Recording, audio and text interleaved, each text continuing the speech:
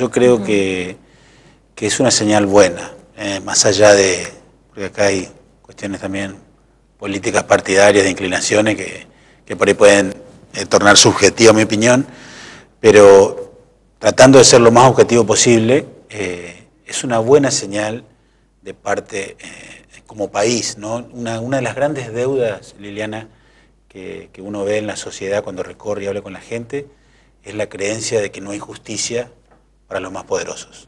¿eh? La justicia funciona para los casos chicos, pero cada vez que hay un poderoso por medio, no hay justicia. Creo que, ya hablando más jurídicamente, en el expediente estaba bastante probada la responsabilidad del ex vicepresidente de la Nación.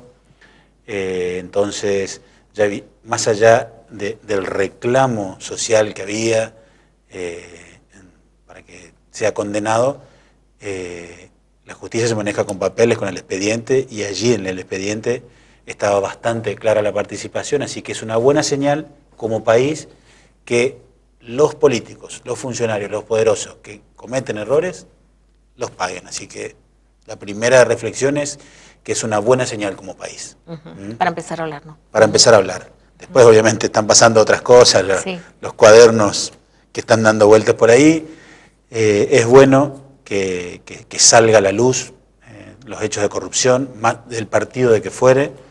Eh, es bueno que no pase tanto tiempo desde que se comete un hecho de corrupción hasta que llega a su condena. Por allí todavía anda pululando el, ex el expresidente Menem, por casos que ya pasaron hace más de 20 años. Así que es muy bueno como país que se produzca un hecho y que la justicia en un tiempo relativamente coherente eh, llegue a, sancionar. Eh, ¿Cuánto pasó desde que asumió en, el Consejo? Y bueno, estamos eh, desde diciembre, así que estamos rápido. ocho meses, ocho, meses, con los recesos de por medio, pero bueno, ocho meses. ¿Era lo que esperaba o no? Mira, la impresión que yo tengo, nosotros no paramos.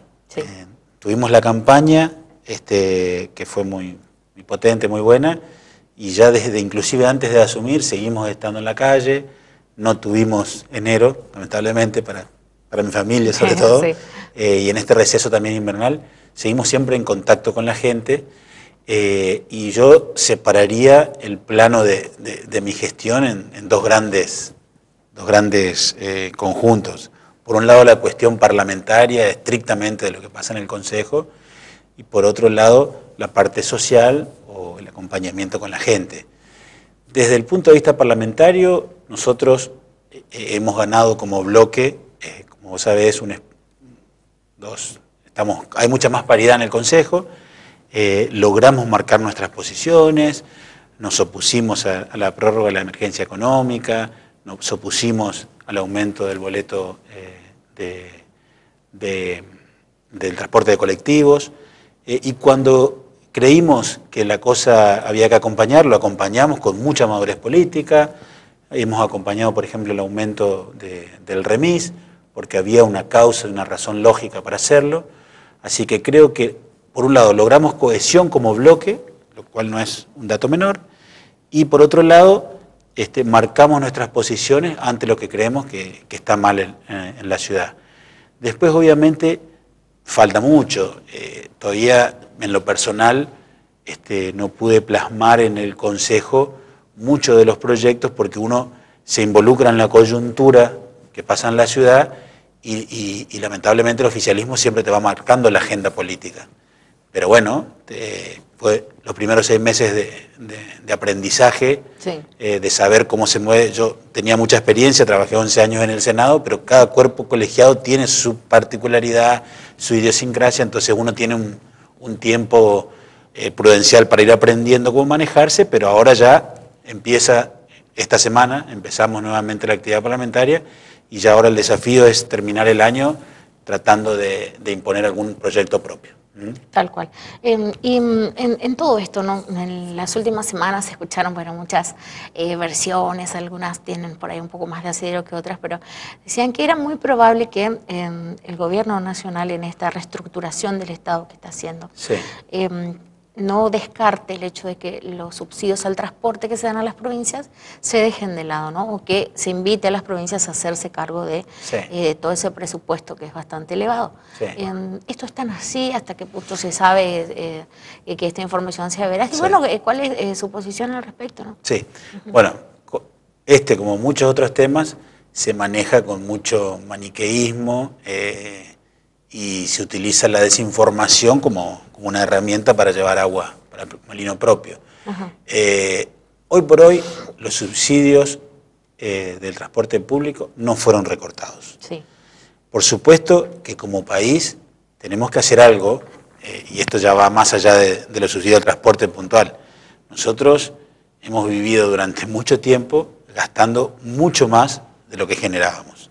Entonces vos hoy estamos pagando, estamos pagando eh, los platos rotos de la fiesta, de gastar, gastar, gastar, mucho más de lo que recaudamos. Entonces hay que reordenar los gastos, hay que reducir el déficit fiscal, es un desafío que tenemos como país, no como espacio político. ¿eh?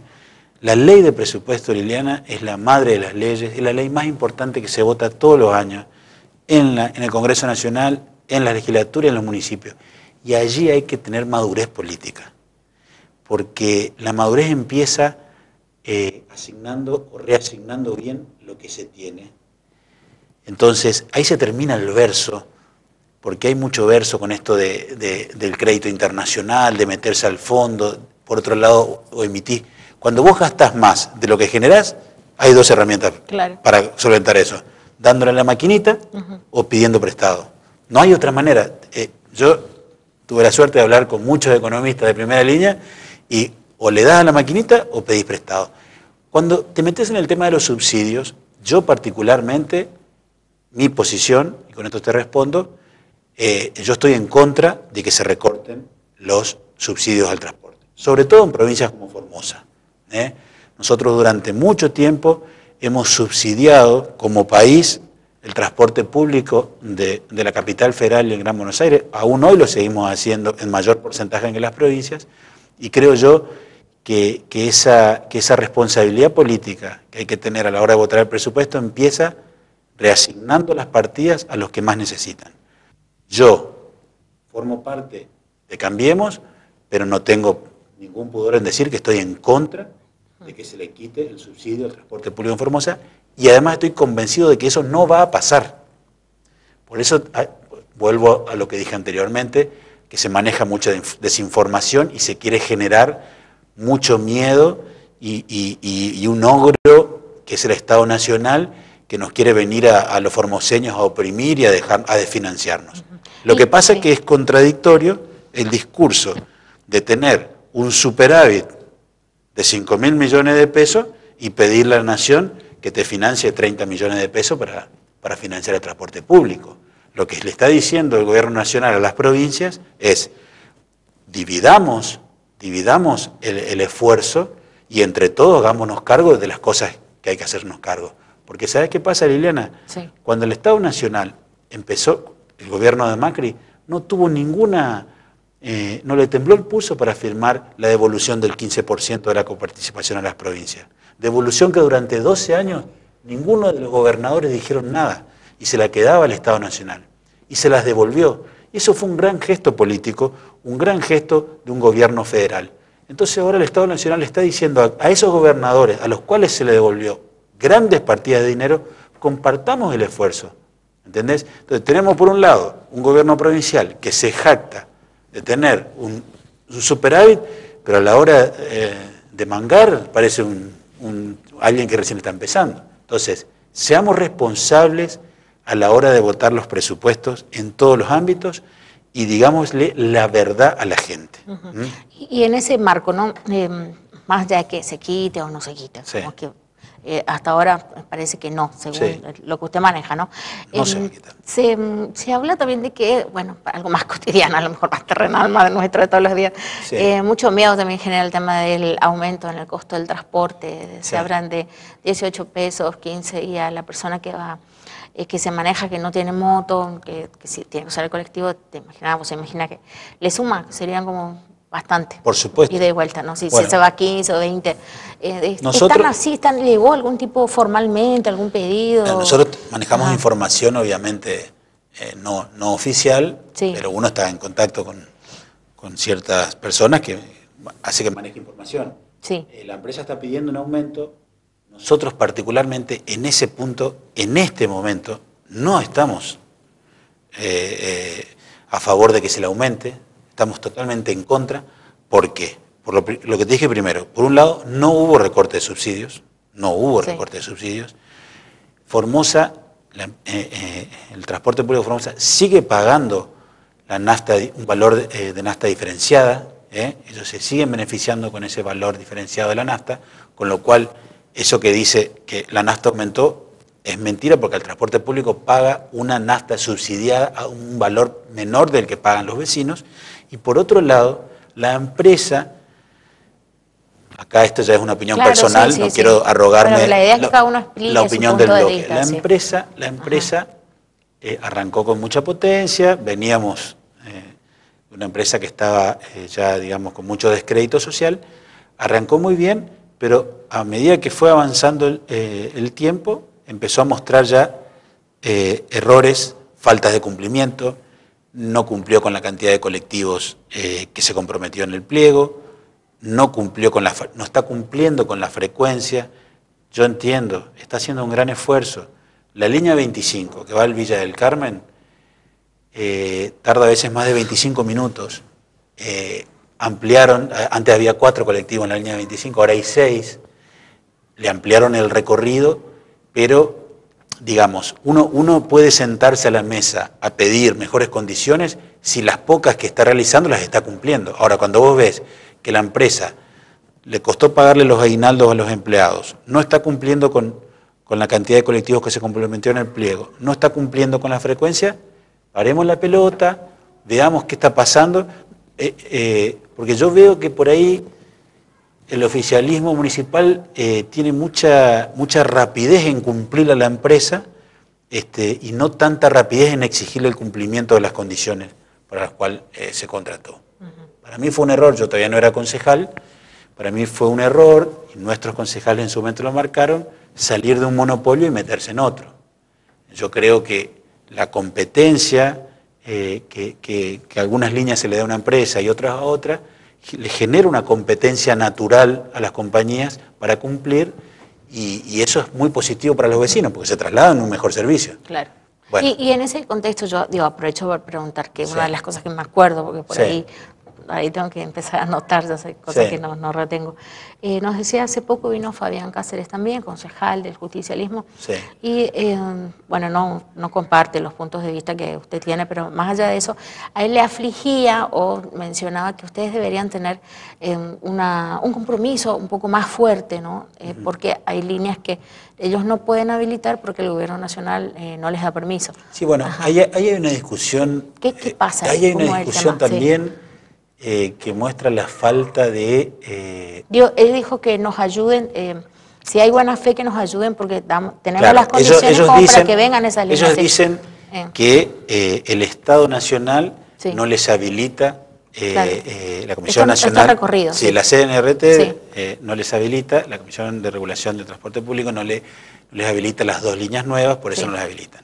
Yo creo que vos no podés llamar seriamente, si sos serio, no podés llamar a licitación eh, y, y licitar 12 líneas si antes no las tenés autorizadas.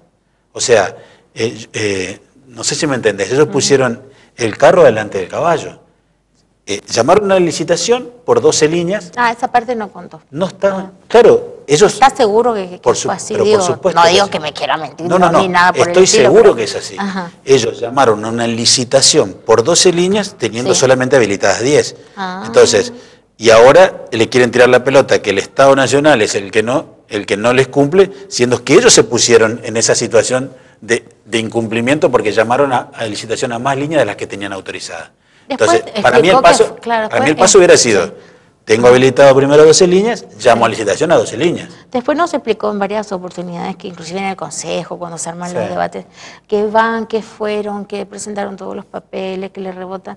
¿Qué faltaría, digo, si ustedes han averiguado como para que se dé esta, esta apertura? Nosotros, a ver, nosotros, cuando tratamos el aumento anterior, que nosotros lo rechazamos, fíjate que solicitamos algo tan simple, que vengan las autoridades de la empresa al Consejo Deliberante y en la reunión de Comisión de Transporte nos expliquen los números. Claro. Algo tan simple como que nos exhiban los números. Yo a veces los veo al oficialismo municipal más del lado de, abogado defensor de la empresa, porque a nosotros la gente nos votó para que controlemos. O sea, la mayoría gobierna y la minoría controla a los que gobiernan. No nos dejaron ejercer el derecho de control. No quisieron que, los, que las autoridades de la empresa vengan a la Comisión de Transporte, le exhiban los números a los concejales y que en esa, en esa planilla de cálculos fundamenten el pedido de aumento. ¿Por qué lo vamos a rechazar? Si un mes antes eh, estuvimos todos de acuerdo en aumentarle a los remiseros, ¿por qué? Porque los escuchamos. Vinieron los empresarios, vinieron la Asociación de Remiseros, los escuchamos y entendimos que era lógico el reclamo. Acá era un aumento al libro cerrado y a, los, a los directivos de la empresa, cero preguntas. Eso es lo que pasa. Entonces, muchas veces la falta de, información, porque esa es la otra cosa que te, puedo decir si querés, como un resumen de estos primeros, el primer medio año de gestión, es la, la, chocarse con la realidad de la falta de información de muchas cosas. ¿eh? Un pedido de informe que no se, no se gira, algún pedido para, para solucionar algún cuneteo, una vereda comunitaria o una falta de iluminación en un barrio, que muchas veces no llega a buen puerto. Entonces, uno eh, previamente tiene una idea de lo que es la gestión y se choca con una realidad de que es muy difícil cuando del otro lado por ahí no te abren todas las puertas. Claro. Em, también, bueno, aparte de todo esto, ¿no? que uno eh, tiene que batallar todos los días porque a lo mejor no está de acuerdo con la manera en la que se maneja el bloque mayoritario, pide informes y todo eso en estas 24 horas que tenemos todos los días, hay una brecha, así, un tiempito que se hacen para estar con la gente, ¿no? ¿Qué, es lo más gratificante de conversar con el vecino eh, que, ha pasado en todo este tiempo? Te diría que es así como decir, la actividad política tiene muchos sinsabores eh, y creo que lo más gratificante es el contacto con la gente eh, y que te hace no perder de vista la realidad la cual están viviendo los vecinos de Formosa. Muchas veces los políticos llegan a sus espacios y empiezan a rodearse de su círculo chico. Eh, la información que manejan no es la información que le dice el vecino, sino lo que le cuentan su círculo chico, que es lo que está pasando afuera. Entonces siempre es bueno estar cerca de la gente. Como dije al comienzo, nosotros no, paramos nunca, tenemos, tenemos como, como programado o como como estrategia política estar todas las semanas en un barrio distinto. Eh, ¿Este sábado dónde van a estar? Este sábado, por ejemplo, vamos a estar en el Sagrado Corazón. Ah, ¿eh? qué bien. El sábado pasado hicimos eh, un chocolate festejando el Día del Niño, adelantándonos al festejo del Día del Niño en el Lote 4 y en el Antenorga 1. Y este sábado vamos a estar en el, en el Sagrado Corazón. Eso es muy bueno, porque como te dije, te hace tener un contacto eh, directo con la gente y conocer cuáles son los problemas. Yo, esta es mi, humilde opinión, creo que, la gestión municipal, lamentablemente, eh, mm, si bien cambiamos eh, de intendente, el intendente, el ingeniero Joffre empezó con mucha potencia su gestión, pero sigue habiendo mucho maquillaje y poca resolución de los problemas la intendencia de Formosa Liliana eh, está reducida a la mínima expresión, porque si vos ves otras, otras municipalidades, eh, hay otras municipalidades que brindan servicios de salud, hay, muchos, hay muchas ciudades que tienen hospitales eh, municipales, hay muchas ciudades que tienen jardines y escuelas municipales. Acá no se brinda el sistema de salud, no se brinda el sistema de salud ni de educación. Está limitado al estado de las calles, a la recolección de la basura. Y, la gestión de Joffre por ahí tiene eh, mucho de gestión social. ¿eh? Yo veo que, hacen un gran esfuerzo para estar en contacto con la gente, pero los problemas estructurales que tiene Formosa siguen sin resolverse. Entonces, lo que digo es, eh, vos podés hacer un gran esfuerzo para solucionar los problemas, pero te encontrás con un Estado municipal desfinanciado eh, y, no tenés cómo resolver. Y si tenés un gobierno provincial que se maneja con un criterio muy centralista, entonces tenés un grave problema. Eh, tenés que imprimirle una creatividad extrema para intentar eh, obtener fondos para resolver los problemas.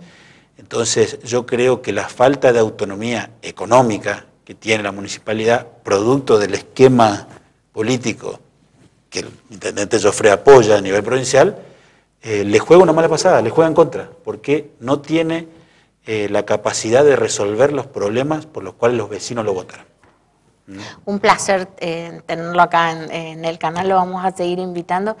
para recordar un poquito a la gente bueno, que quiera acercarse, a estar con ustedes a full este sábado en el Sagrado este Corazón. Este sábado estamos en el Sagrado Corazón, ahora si querés, a través de las redes sociales vamos a informar bien la dirección.